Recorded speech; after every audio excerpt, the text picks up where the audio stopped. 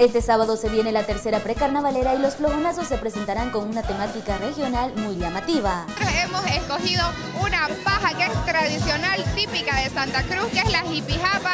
Mi traje va a estar hecho con jipijapa, teñida de varios colores y casi todo el traje está confeccionado con eso, así que va a ser una precarnavalera colorida. La comparsa coronadora se prepara arduamente para tener una presentación impecable en este evento carnavalero. Nosotros estamos entrenando casi hasta las 2 de la mañana todos los días para mostrarle al pueblo lo que se merece, ¿no? Fátima I hace la invitación al pueblo cruceño para que la acompañe nuevamente en su gran recorrido. Que se dé cita hasta la Manzana 1 y todo el recorrido de la tercer precarnavalera nos acompañen a los flojonazos coronadores del Carnaval 2019 a vivir el carnaval de la gente.